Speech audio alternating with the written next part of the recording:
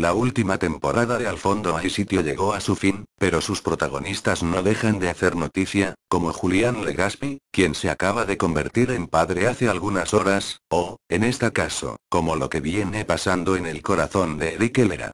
Efectivamente, Enrique Lera no tiene reparo alguno en gritar su amor a los cuatro vientos.